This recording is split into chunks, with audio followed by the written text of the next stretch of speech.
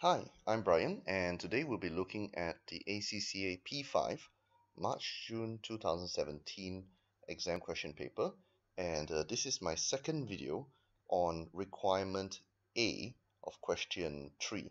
Assess whether NJN's existing warehouse information system is effective in reducing waste and adding value in NJN's workflow. So this is my second video in a series of videos to answer requirement A. In an earlier video, we have already done uh, step 1, 2, 3 about here. So now we are going to focus on step 4 and step 5. We're going to draw from our knowledge and understanding and of course we need to answer the question requirements. So I have over here my um, workings which I've done from an earlier video in which we have gone through the question and we have uh, selected important information with which we can use to answer the question. Now, if you would like to find out or learn more about how we came to these conclusions and where we got this information from, uh, please take a look at video number one, part one, which you will, will see appearing on the top right of your screen. Okay, so we have already extracted a lot of things from the question prompt over here, right? So we're going to focus on these bullet points and we're going to show you how we're going to use that to build our answer. So straight off the bat, one thing that we can see that is a recurring feature in this WIS system for NJN is that there is a lot of manual work. Lots and lots of manual work. There's manual input, there's manual picking, there's printouts, there's manual reconciliations. There's a lot of manual work. So when we are framing an answer, one of the good things we can do is we can have a header that talks about these manual um, processes. So that will be over here, labor intensive and manual processes. Um, the second thing that we can talk about is that some of the workflow steps in NJN's um, inventory management is quite convoluted and wasteful. Like for example, you have things like haphazard uh, arrangement of items you know items are arranged haphazardly. You have communication with clients which are manually. You have to request um, physic you have to do physical um, request for physical packing list if you lost it. So there's quite a lot of um, convoluted and wasteful processes which are prone to error. So we're going to use that as our second header. So that's over here.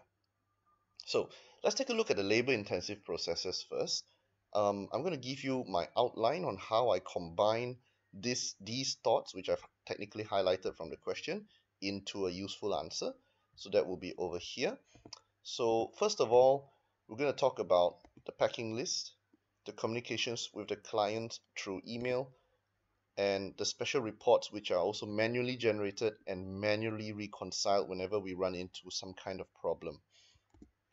Alright so these are the items relating to the labor intensive processes. And for wasteful workflows and mistakes, we're going to talk about, first of all, the physical packing lists. We're going to talk about the fact that it's only input once every 24 hours. We're going to talk about um, the picking lists are only created in the morning and they're physically printed. And of course, the haphazard arrangement of goods in the storehouse, anywhere you want to put them, you just put. Um, yeah, so that's how we're going to how we're going to approach our answer. Okay, so we'll start up here with our packing list. Packing list is manually input. So let's take a look at how this works. So when you have a manually input process, basically someone sitting in front of a computer and keying in something from a piece of paper, that is a waste of time. And it introduces a lot of errors. You know, you mistype 1, 2, become 2, 1. You might have this kind of transposition errors. And that introduces errors into the system. So this is not a good idea. It's very wasteful as far as manpower is concerned. Communication with clients through email um, may seem okay, but there is a problem. When we communicate through email, one thing happens is that your customer also needs to have somebody there to communicate with you. So not only are you wasting your own manpower, you're wasting your customer's manpower time.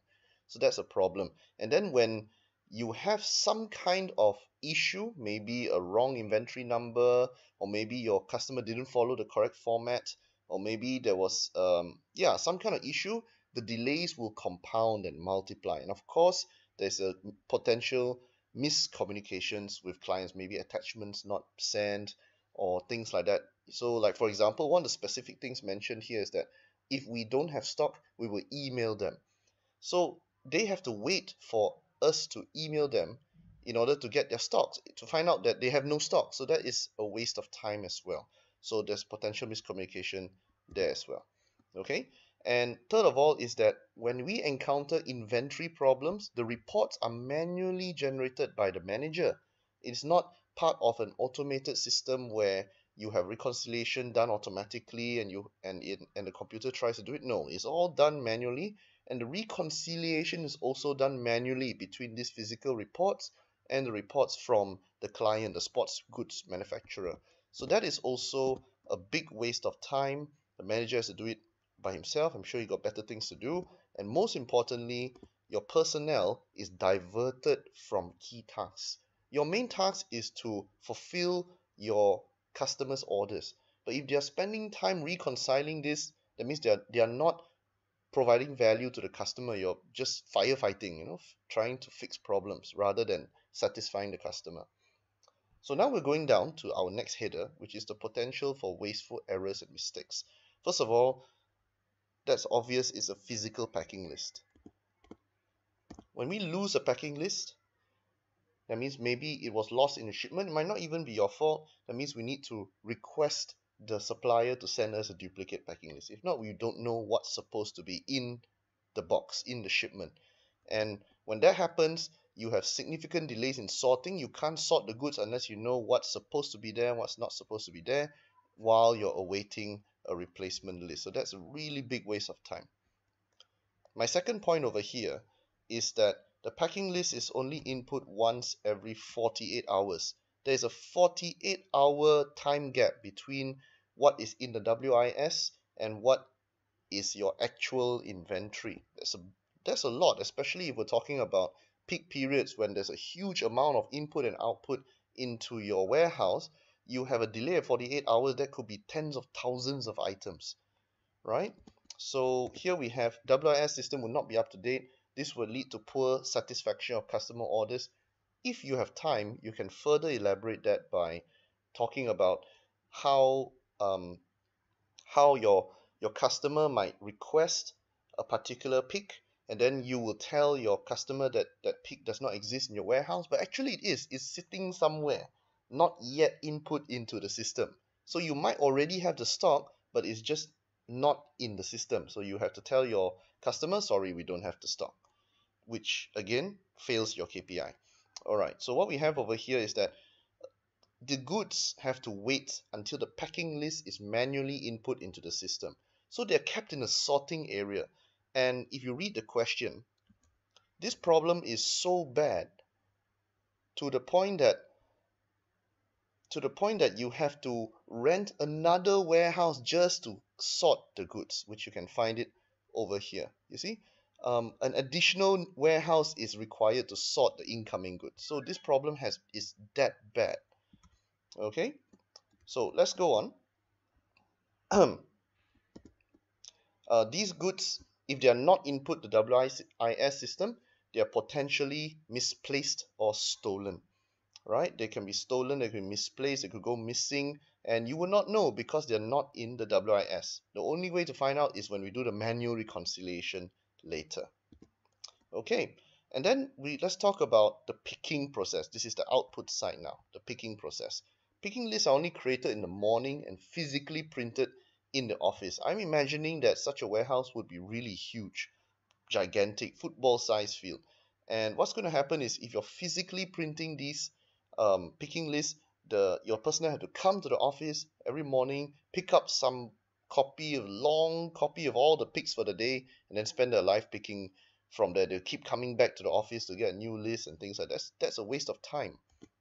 So and of course one thing that we can talk about is there is a potential 24 hour delay from a time of customer request to the start of the pick. So let's say um, your customer request came in in 10 a.m. on a Monday, right? But you only print out the picking list for picking at the end of at the end of the day or in the morning of the next day which is Tuesday. So that's 24 hours gone doing nothing to satisfy this customer. You only start on Tuesday. So that's there's a potential 24 hour delay there. Um, potentially information overload on picking list. They have quite a lot of information. According to the question it seems as if the picking list has all the items in the stock and then the quantities and how many picks probably some gigantic spreadsheet which they paste on the wall. And this information or overload might lead to errors in the picking process. You pick the wrong good or you pick the right good but you send it to the wrong client or you you got the location wrong you got to come back and check. All this is a waste of time. Okay? And of course the question did specifically mention there's a high percentage of inventory problems that means we fail to satisfy our customer orders. Now talking about the haphazard arrangement of goods in the warehouse that's like coming home and just throwing everything wherever there's free space. You don't have any organized system. So this will lead to inefficiencies when we are trying to pick. You might find three pieces of product A over here and then another two more pieces over there and they're not in the same place. So you just to pick 10 units you need to travel the whole warehouse. So that's a very big waste of time right? And of course when you have a haphazard arrangement of goods there's high chance of things being misplaced or even the location keyed in wrong into the WIS so it's a wrong location in WIS so one thing that we can note is that NJN has tried to respond to these problems by implementing cyclical inventory counts and by renting an additional warehouse. But these things, they are costly, they're very expensive to do this. You're, you're hiring more employees to do this, and you have to pay additional rental, and it doesn't improve the value created for the customer. You're just firefighting and spending more money and not fixing the problem. So, in conclusion, the current labor-intensive WIS, with its accompanying flawed workflows, lead to significant waste in time and manpower and do not add value to the customer's needs of accuracy and throughput. Throughput here meaning number of customer orders fulfilled. You want to fulfill as many as you can. And this system is not helping you fulfill those orders as you need to satisfy your client. Okay, so this is the end of my second video for requirement A of question 3. Um, hopefully this helps you. If you need to uh, revise further, please go to the first video again to see how we got to this stage where we have identified the parts in the video. And um, as usual, you can download this answer from the about section of my video. Thank you very much for watching. Good luck with your exams and like and subscribe. Thank you very much.